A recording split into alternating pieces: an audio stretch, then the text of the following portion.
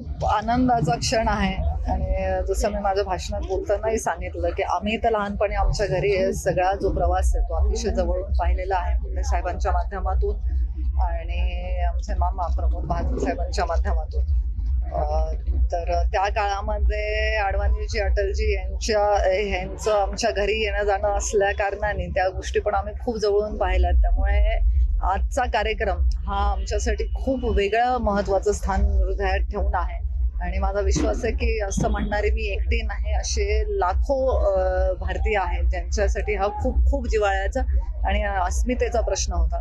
त्यांच्या या प्रश्नाला आज अतिशय सन्मानजनक न्याय मोदीजींच्या माध्यमातून मिळालेला आज भिडल्यासाठी काय साकडं बीड जिल्ह्यासाठी साकडं घातलं. अजून थेट अयोध्याला पोचले नाही ना डायरेक्ट प्रभू रामाला साकडं घालायला.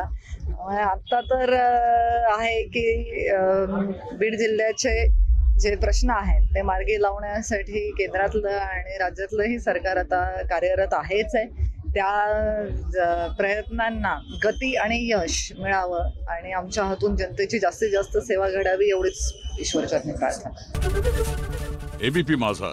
उघडा डोळे बघा नीट.